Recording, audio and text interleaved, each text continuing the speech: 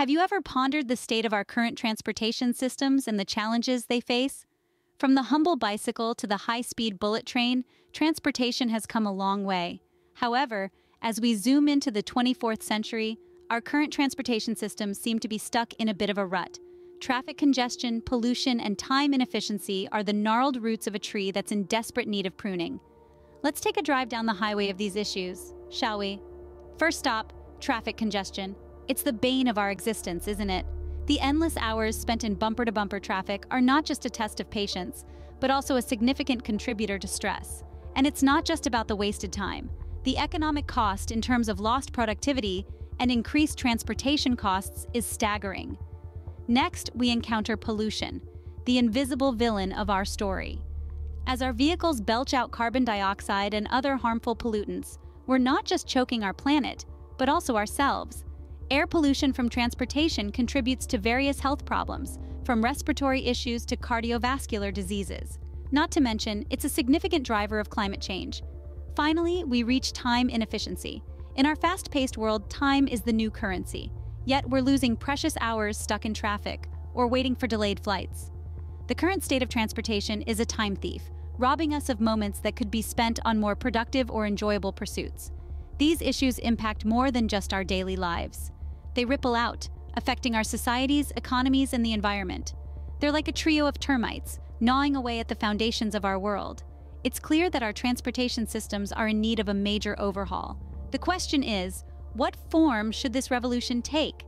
How can we design a system that's faster, cleaner, and more efficient than anything we've seen before? Isn't it about time we evolved our transportation systems to overcome these challenges? Let's fasten our seatbelts and prepare for an exciting journey into the future of transportation, the enigma of the Hyperloop. Imagine a world where you could travel from Los Angeles to San Francisco in just 30 minutes. Welcome to the future of transportation, the Hyperloop. Hyperloop is more than just a concept. It's a revolutionary transportation system that's on the brink of transforming the way we commute. Picture this a sleek, capsule like pod swiftly gliding through a vacuum tube at speeds that would make even the fastest bullet train blush. It's not science fiction, it's the Hyperloop. At its core, Hyperloop is a high speed travel method that moves passengers in pods through a vacuum tube. The absence of air resistance in the tube allows these pods to reach incredible speeds, making journeys that would usually take hours possible in mere minutes. It's like having your very own personal jet stream but on the ground. But it's not just about speed. The Hyperloop system is designed to be efficient and sustainable. Powered by a combination of solar energy and other renewable sources, it aims to leave a minimal carbon footprint. It's high-speed travel, but with a conscience. Moreover, the Hyperloop promises to revolutionize not just how we travel, but how we live. By drastically reducing travel times, it could change where we choose to live, work, or even vacation. It's a transportation revolution that could redefine our perception of distance and time.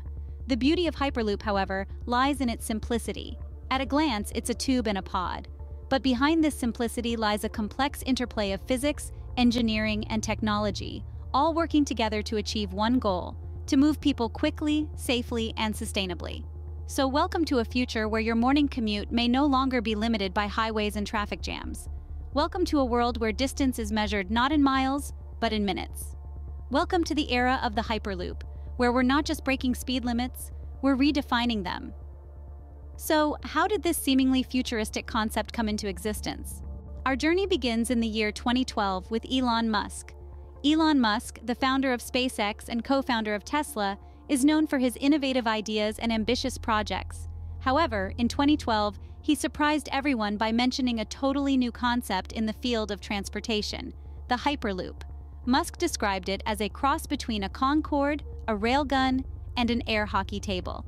The idea was to create a mode of transport that could reach high speeds, reduce travel time, and be environmentally friendly at the same time.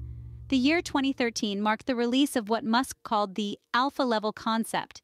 This was a 57 page document detailing the design, functionality, and economics of the Hyperloop.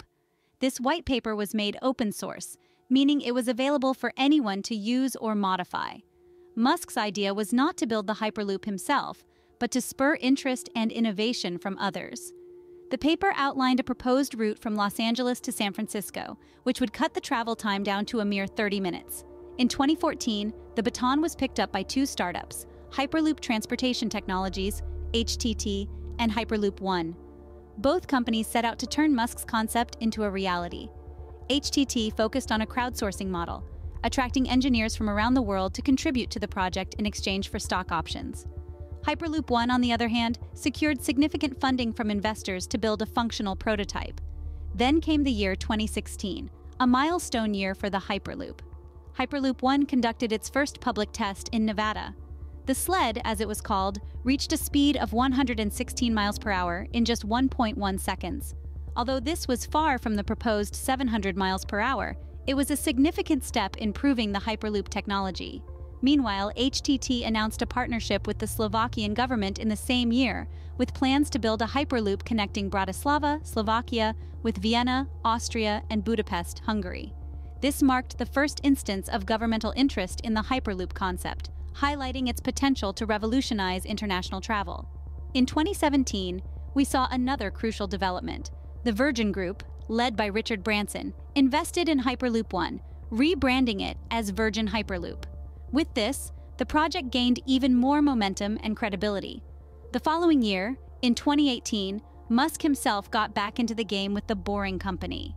Musk proposed an urban loop system, which would serve as a network of tunnels for private vehicles and Hyperloop pods. This was a shift from the original intercity concept towards a more urban, intra-city focus. By 2019, more and more countries started showing interest in the Hyperloop. Feasibility studies were conducted in countries like India and the United Arab Emirates. The same year, Virgin Hyperloop unveiled the XP1, the first full-scale passenger pod, marking a significant step towards passenger-ready Hyperloop. Fast forward to today, and we find ourselves amidst an array of Hyperloop developments.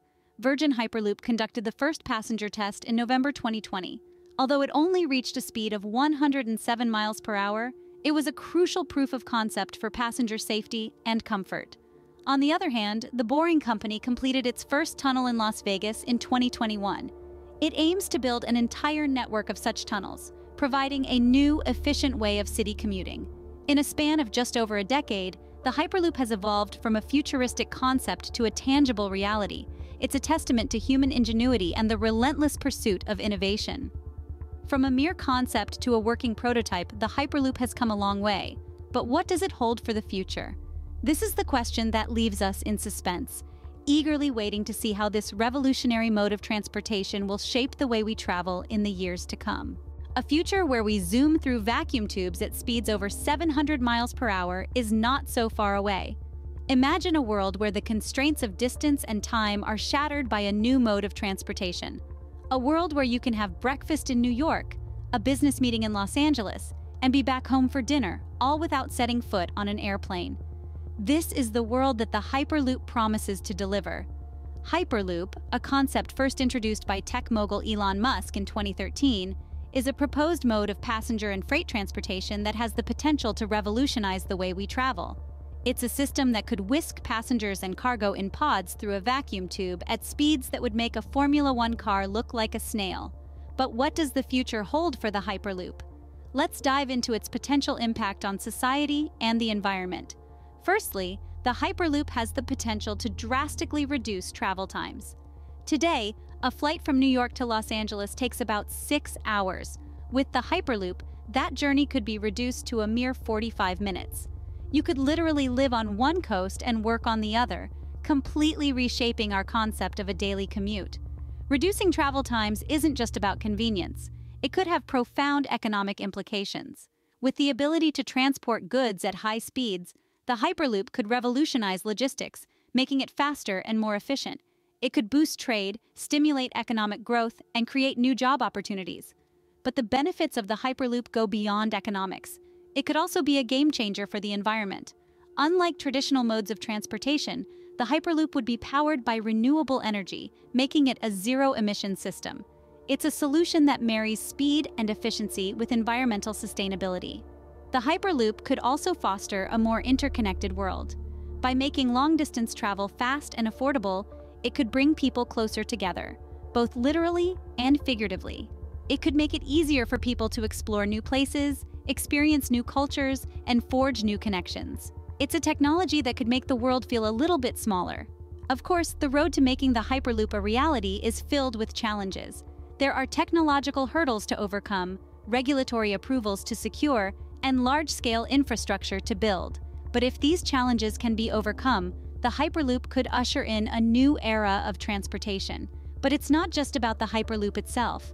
It's about what the Hyperloop represents. It's a symbol of human ingenuity and ambition. It's a testament to our relentless pursuit of progress. It's a reminder that no matter how big the challenges we face, we have the power to overcome them and shape the future on our own terms. In a world where climate change is a looming threat and urban congestion is a growing problem, the Hyperloop offers a glimmer of hope. It's a bold vision for a future where we can travel faster, live cleaner, and connect more deeply. It's a future where distance is no longer a barrier.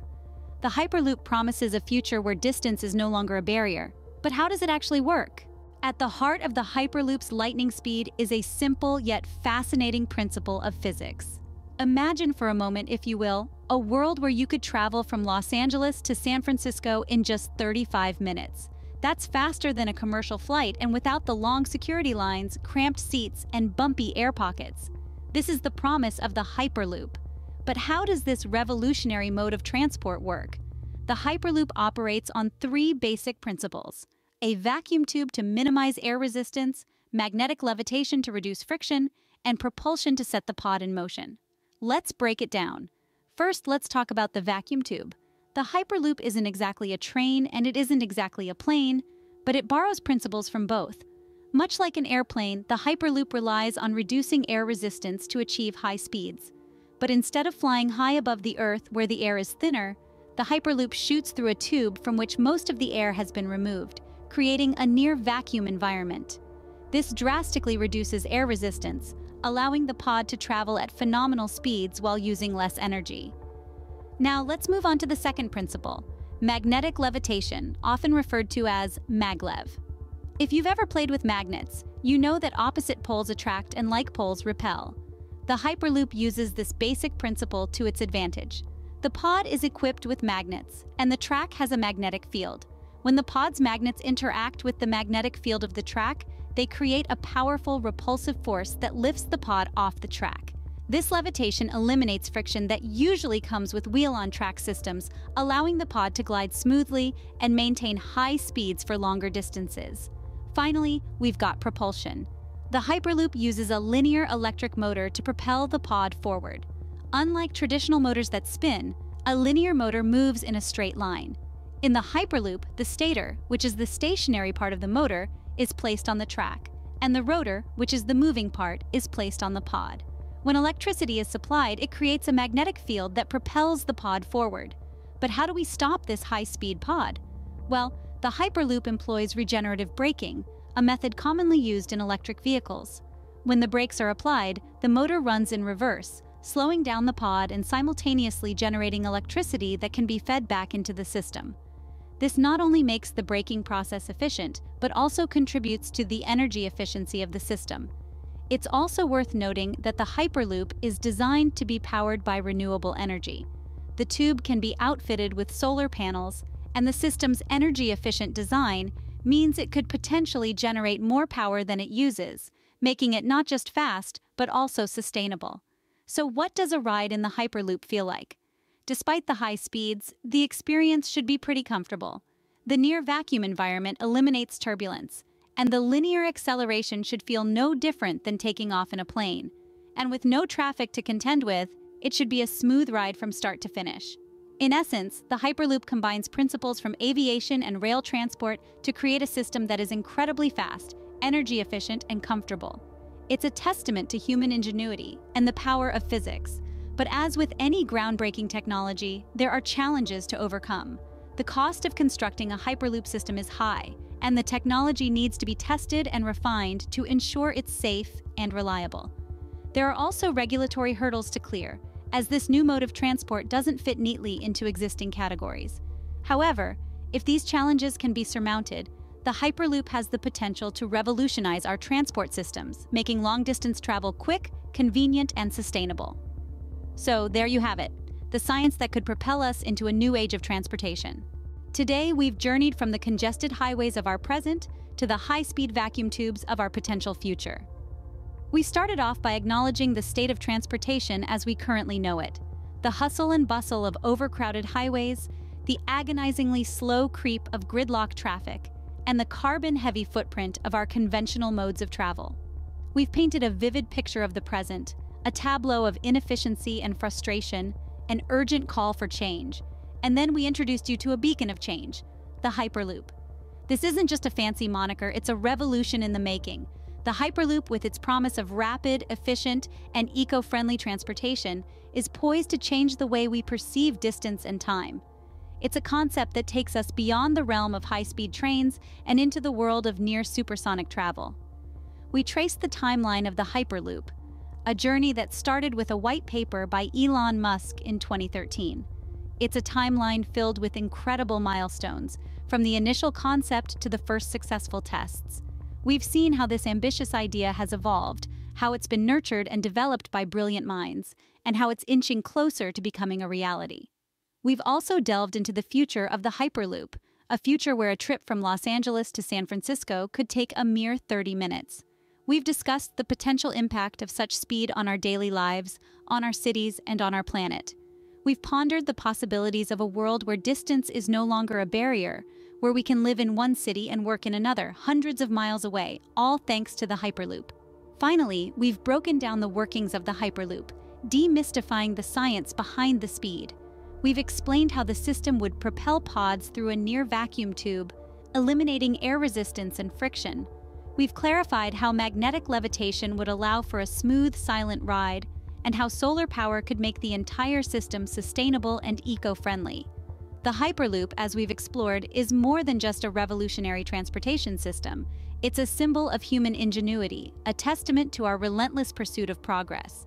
It poses challenges, but it also presents opportunities. Opportunities to redefine transportation, to reduce our carbon footprint, and to usher in a new era of travel. But as with any groundbreaking innovation, the Hyperloop isn't without its hurdles. There are technical challenges to overcome, regulatory frameworks to navigate, and public acceptance to cultivate. Yet the progress we've seen so far gives us reason to be optimistic.